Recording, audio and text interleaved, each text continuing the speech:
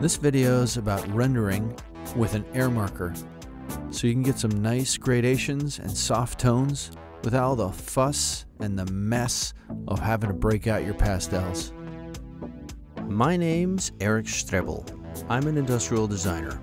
If you're new to my channel, I hope that you subscribe and check out some of the other design and making videos that I have such as this air marker that I use in this video and how I modified it to adapt and accept most any other marker on the market today.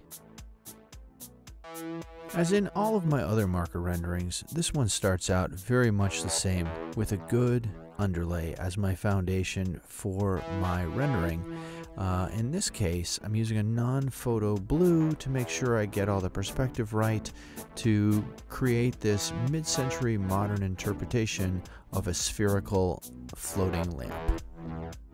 I'm going to lay down some red marker in a little bit of a grid pattern to show the fabric texture. From there I'm going to create a paper template that I photocopy uh, the original artwork on and I cut out the part where I want to airbrush through. I put some cheesecloth down and I airbrush through that to get a nice texture for the fabric that covers the speaker.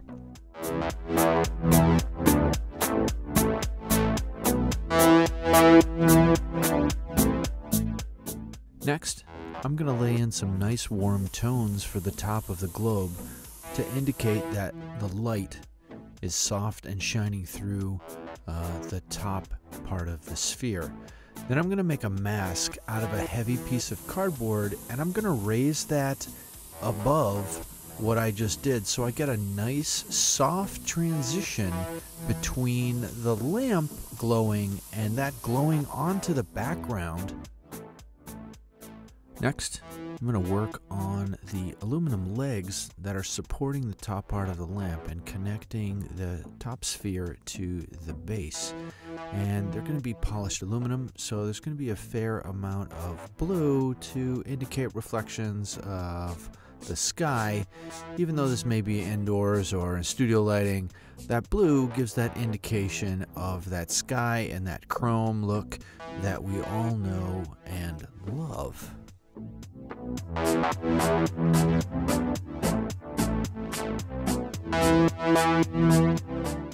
The key to chrome, of course, is contrast and softness. You want that contrast in the reflection for the ground plane, and you want that softness in those sky tones. Here I'm just adding a little shadow on the left, and I'm coming back and adding some of that softness of the sky in the chrome and a little bit more contrast here in that reflection that it's reflecting in the ground plane.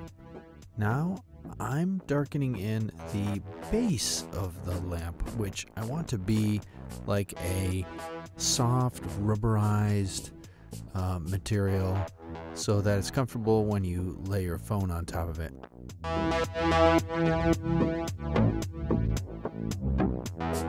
Next, and last but not least, I'm adding in the line weight. So I'm darkening up the outline of the object to give it a little bit of contrast and give it some punch. This is where the rendering really starts to sing. And I pay a lot of attention to the line weight. Darker lines on the bottom of things to add that effect of uh, almost a shadow being cast on that line weight uh, or that line weight, inferring that it's darker on that side, having things recede and having things have a little more contrast. I decide the base needs to be a little bit darker to help anchor the piece. So I'm coming in here probably around a 7 or an 8 gray, cool gray, and adding some of the shadows, uh, making things anchored a little bit more adding a little more shadow right here on the sphere to get a little bit more depth. Now cleaning things up with a marker just to make things nice. I see I forgot a little shadow underneath the speaker and I'm adding in the last of the details. I even try and see if there would be a cable there. I don't like it, I erase it. I add my name. And now come the notes, which is really the part that makes it a design uh, rendering where you add in those note details to tell the user exactly all the features that aren't communicated directly through the rendering. Pretty much it. I actually did two versions, a red one and a blue one, but I like the red one better of the Pulse, so that's what I did the video on. Don't forget to subscribe to my YouTube channel. You can click on the little icon on the bottom right of the screen to do that. You can follow me on Twitter, Facebook, and Google Plus. Rock on.